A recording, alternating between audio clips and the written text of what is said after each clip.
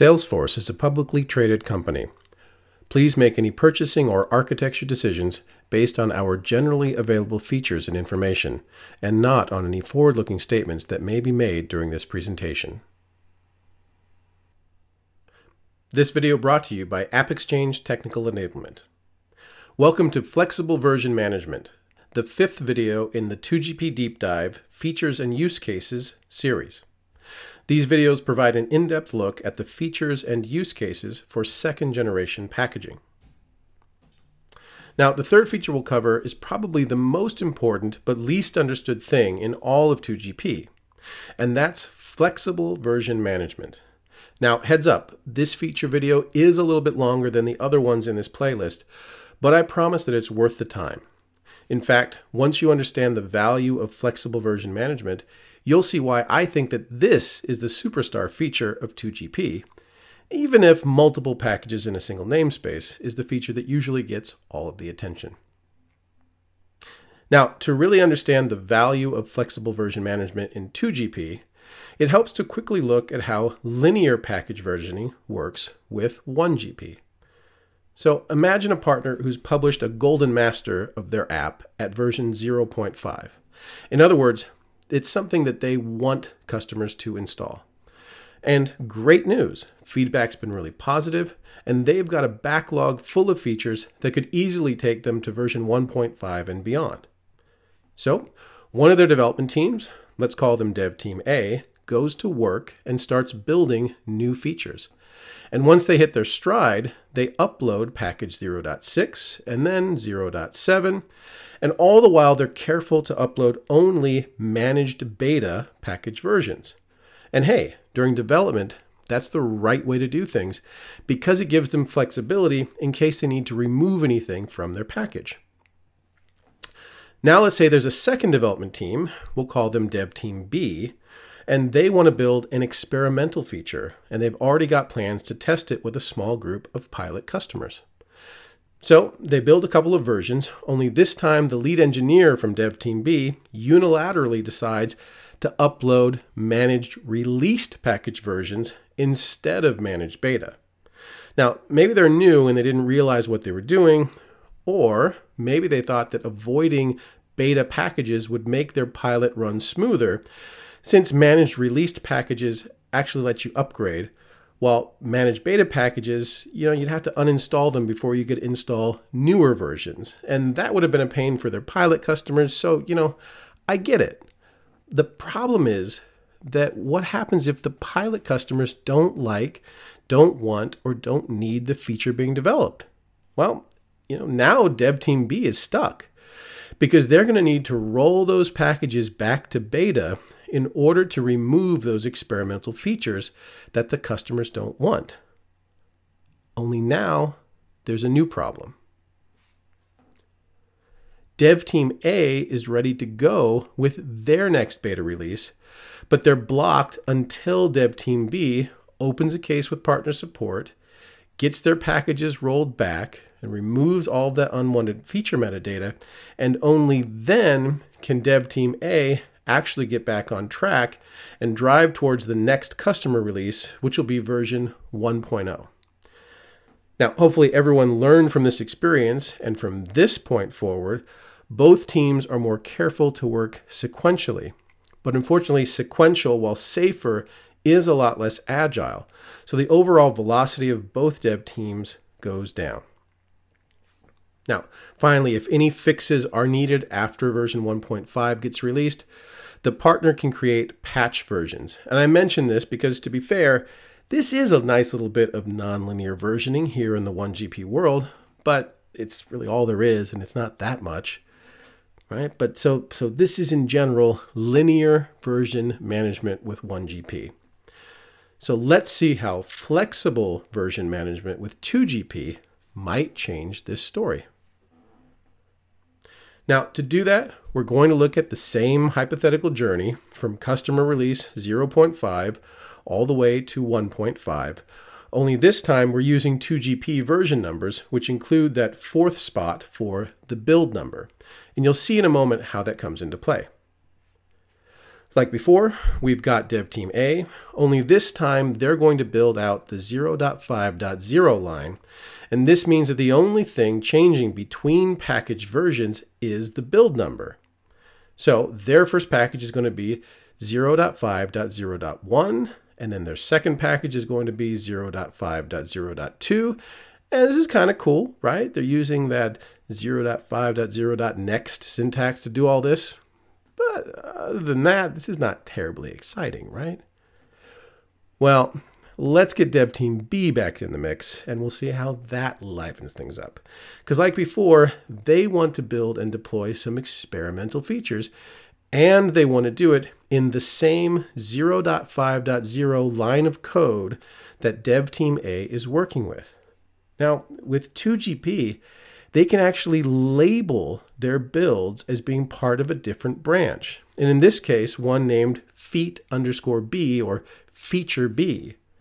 So when Dev Team B builds their first package version, they end up with the same 0.5.0.1 version number that Dev Team A got on their first build, but with the branch label in place, both of these versions can exist simultaneously. Now, we know from before that Dev Team B does like to kind of go their own way. So for the next package version that they create, they actually decide to increment the minor version to 0.6 and then they do it again to 0.7.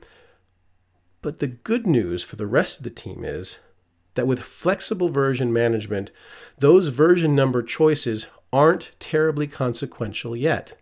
All of the really important stuff with version numbers happens when you promote a package version out of beta and into the released state. The lead engineer of Dev Team B actually knows this, and once again, you know, they just unilaterally decide to promote their, their latest package. Only this time, they're blocked because the DevOps team has locked down the ability to promote package versions. This is something that's unique to 2GP. Package promotion requires a special perm that's assigned in the Dev Hub. And for the partner here in our hypothetical example, it's something that they've decided as an organization that they want to limit. Now, you'll notice that none of Dev Team B's activity has actually interfered at all with Dev Team A. In fact, they keep moving forward with their own package builds. So that when Dev Team B does get that eventual uh, inevitable news that their pilot customers don't like the experimental features, it has no effect on the other teams that are building in parallel. In fact, there's room for another team to take some of what Dev Team B did and develop their own take on it. And it's worth stopping for a moment to consider what's happened here. Three different teams all working from a similar ancestor, have been able to work independently in parallel to create installable package versions. And this is a critical point because they're not just putting raw, unpackaged metadata into DE or trial orgs. These installable package versions can be used as dependencies for other packages in development. They can be distributed to customers in search of feedback. They can even be used to test integrations. So now, when it's time to move towards an actual customer release, all three teams can work together on a source merge release. And they can do that by using the tools provided by their version control system. So dev team A and C, they collaborate to identify and address any merge conflicts in order to build 0.6.0.1, and then they iterate with 0.6.0.2, and now this next bit's important because it doesn't matter that Dev Team B already used 0.6.0.1 or that they advanced the minor version to something you know farther ahead to 0.7 in the last build that they were working with.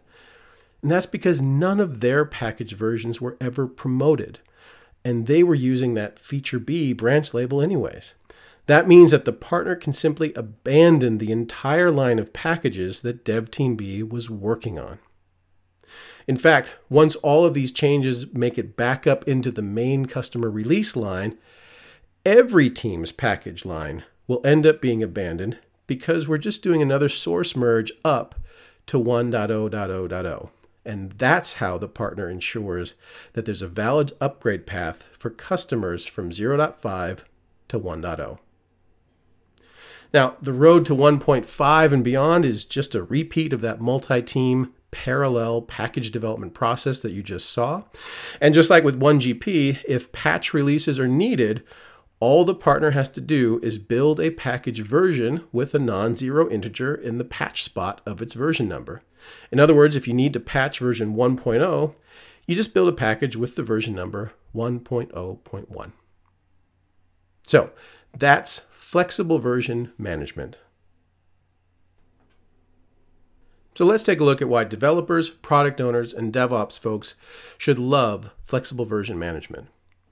So for developers, flexible version management makes it really easy to build and test a variety of features without hijacking the main product branch.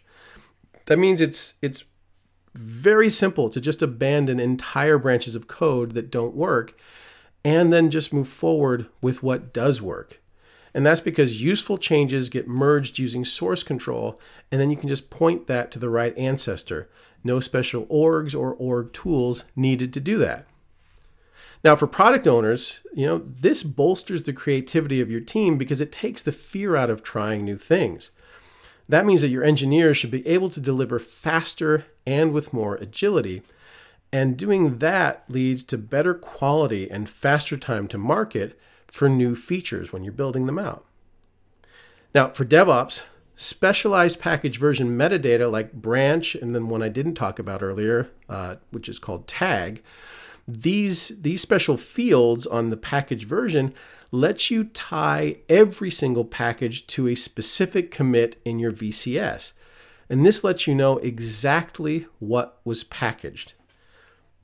The other thing is that package versions are always beta by default.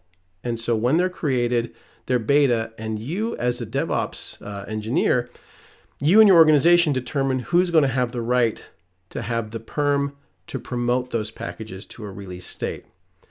And then also, you get to keep package sprawl under control because you can delete unwanted beta package versions.